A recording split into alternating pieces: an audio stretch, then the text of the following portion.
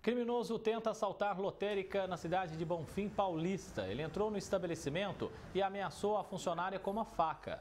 Clientes que estavam no local correram assustados. Sem sucesso, o bandido fugiu e não levou nada. A polícia foi acionada, mas até agora ninguém foi preso.